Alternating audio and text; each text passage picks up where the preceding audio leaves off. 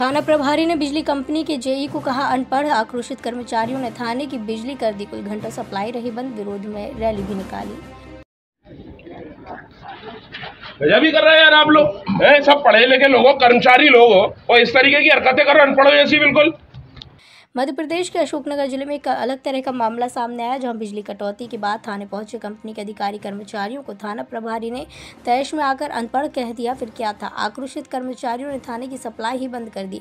बताया जाता है कि घंटों थाने की बिजली गुल रही। मामला मध्य प्रदेश के अशोकनगर ज़िले के चंदेरी थाने का है, जहाँ पर विद्युत कंपनी के कर्मचारी ग्रामीणों द्वारा विद्युत कर्मचारियों पर मारपीट के मामले में नामजद रिपोर्ट की मांग को लेकर पहुँचे थे। विद्युत कर्मचारी ने पावर हाउस से चंदेरी थाने तक एक रैली निकाली और मामले को लेकर रोष व्यक्त किया, जिसके बाद मौके पर चंदेरी थाना प्रभारी उमेश उपाध्याय द्वारा विद्युत विभाग के अधिकारी, कर्मचारियों पर भड़क उठे। पहले तो उसे संविधान का पाठ पढ़ाने लगे, फिर बाद में कहा कि चिल्ला चौट क्यों कर रहे हो?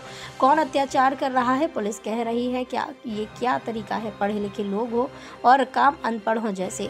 इस दौरान जब थाने में पहुँचे कर्मचारियों से थाना प्रभारी द्वारा चिल्लाकर बात की गई तो सभी कर्मचारी थाने से नाराज़ होकर लौट आए और शहर की बिजली व्यवस्था ठप्प कर दी, जिसके बाद शहर में घंटों तक बिजली सप्लाई बंद रही।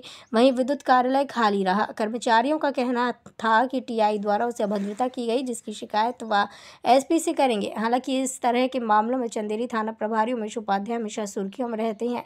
ये कोई पहला मामला नहीं था। इसके पहले भी स्थानीय विधायक गोपाल सिंह चौहान भी उन पर कई गंभीर आरोप लगा चुके हैं। जानकारी नरेंद्र ठाकरे, जेई ने दी।